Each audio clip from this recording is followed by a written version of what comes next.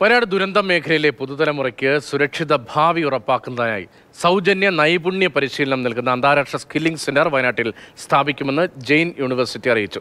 ദുരിതബാധിതരെ പുനരധിവസിപ്പിക്കുന്നതിന്റെ ഭാഗമായി tourism hospitality മേഖലയിൽ വയനാട്ടിൽ നിന്നുള്ള യുവാക്കളെ മുൻപന്തിയിൽ എത്തിക്കുകയാണ് ലക്ഷ്യം.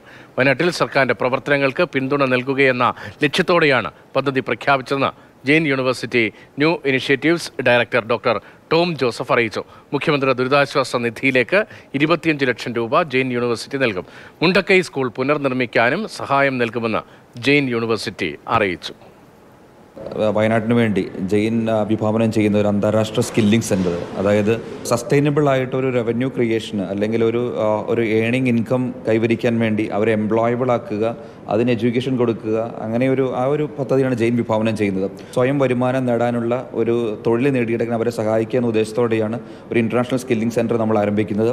അത് ഹോസ്പിറ്റാലിറ്റി ആൻഡ് ടൂറിസം ബേസ് ചെയ്തായിരിക്കും വരുന്ന തലമുറയടക്കം ഒരു പത്ത് പതിനഞ്ച് വർഷത്തോളം വരുന്ന എല്ലാ വിദ്യാർത്ഥികളെയും നമ്മൾ ഫ്രീ ആയിട്ട് സൗജന്യമായിട്ടൊരു സ്കില്ലിംഗ് പരിശീലനം നൽകുകയും അവരെ കൂടുതൽ എംപ്ലോയബിൾ ആക്കുകയും ചെയ്യും.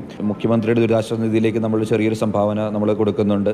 ഇരുപത്തഞ്ച് ലക്ഷം രൂപയോളം ജയിന്റെ സംഭാവനയായിട്ട് കൊടുക്കുന്നുണ്ട്. അവിടെ ഒരു സ്കൂൾ കെട്ടിടം തകർന്നിരിക്കുന്നു. അതിന് ഒത്തിരി സംഘടനകൾ മുമ്പോട്ട് വന്നിട്ടുണ്ട്. എന്നാൽ അതിൽ അവരോടൊപ്പം ചേർന്ന് ജെയിൻ വർക്ക് ചെയ്യും.